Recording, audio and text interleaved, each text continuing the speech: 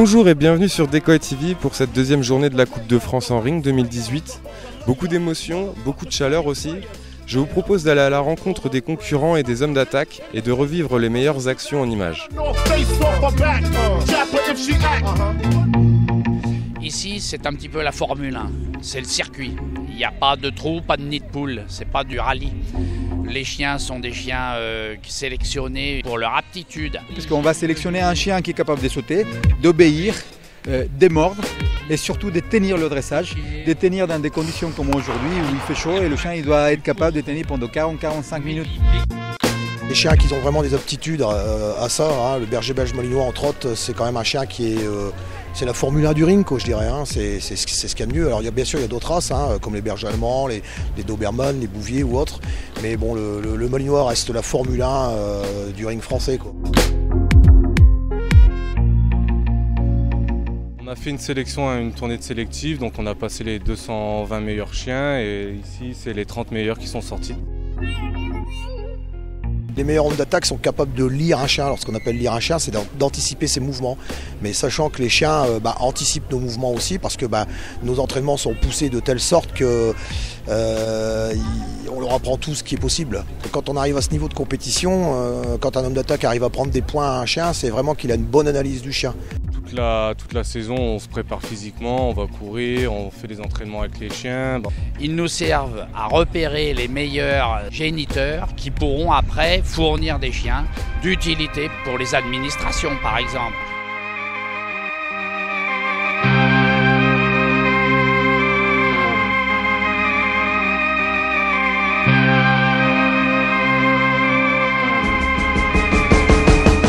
Je m'appelle Murphy Launay, je suis du club cynophile de Pays de Brive et j'ai vraiment euh, tout l'honneur et la chance de, voilà, de participer à cette finale. J'ai pu préparer mon chien euh, depuis le dernier sélectif euh, dans de bonnes conditions. Je l'ai préparé physiquement, j'ai fait de l'hydrothérapie dans un cabinet vétérinaire où là je l'ai fait nager, j'ai préparé un peu à la chaleur et j'ai fait mes entraînements techniques façon qu'il soit prêt le jour J. Je savais qu'avec Axel Villain et, et euh, Johan Verry, Alan Cunet et après euh, Cyril Hautecoeur, je savais que ça allait être compliqué, que ça allait aller vite. J'ai vraiment été stupéfait par quelques chiens que je connaissais pas parce qu'ils sont pas dans mon groupe. Samuel Olivier, qui est passé avec son chien, qui a cartonné.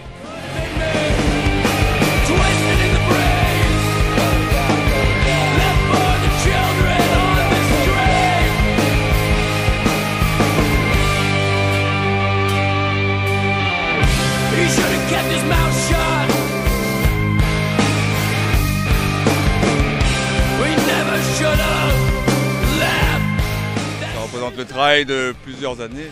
Il faut le vivre pour comprendre.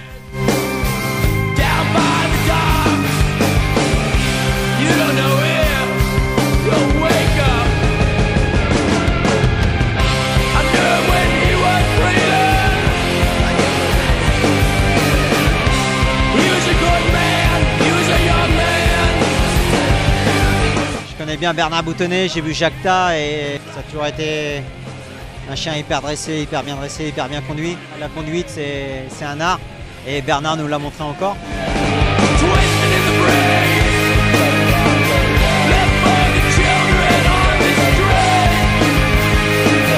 Et un petit, un petit clin d'œil au berger hollandais de mon groupe, euh, Gino. J'adore les bergers hollandais depuis quelques temps et voilà, il, nous a, il a fait un beau parcours.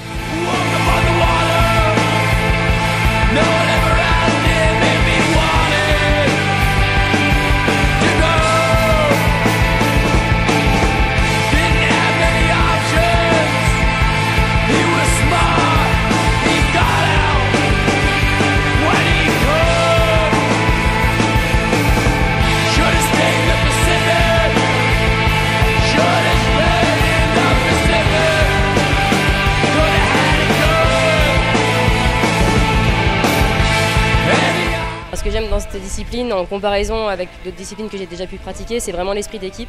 Parce qu'on travaille euh, tous ensemble. C'est pas que le conducteur et son chien, c'est vraiment une équipe, c'est euh, des hommes d'attaque, c'est euh, un club qui nous soutient, des supporters. Je pense qu'il y a beaucoup de choses qui passent aussi dans le mental.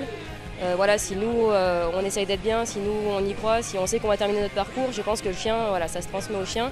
Après voilà, faire attention de le faire boire, l'écouter, euh, si on se rend compte qu'il commence à fatiguer, pas hésiter à aller plus doucement entre les exercices, le faire reprendre son souffle. Euh, les juges en plus euh, sont vraiment pas embêtants par rapport à ça. Au contraire même, je trouve vraiment qu'ils font en sorte que tout se passe bien aussi.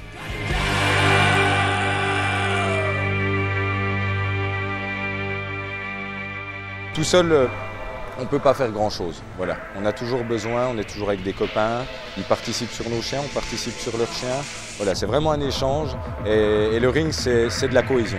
Voilà. Le conseil que j'ai à donner, c'est rester passionné et surtout euh, pas se fixer des, des objectifs trop quoi. Y aller petit à petit, faire déjà ce qu'on peut et surtout s'amuser avec son chien, c'est vraiment vraiment le plus important. C'est un grand merci à la ville de Narbonne, au club de Narbonne, à la société canine du Languedoc-Roussillon, puisque ça en dépend. Et ils nous ont euh, fait un week-end extraordinaire. J'ai vu euh, une équipe avec plein de bénévoles, parce que c'est un monde euh, encore de bénévolat. être au four, au moulin, de partout, et c'est super. Moi, je viens de Lyon. Vous voyez, j'ai un autre juge de jury qui vient de euh, Avignon et un autre qui vient de Bretagne. Ça fait voyager le chien, comme tous les sports.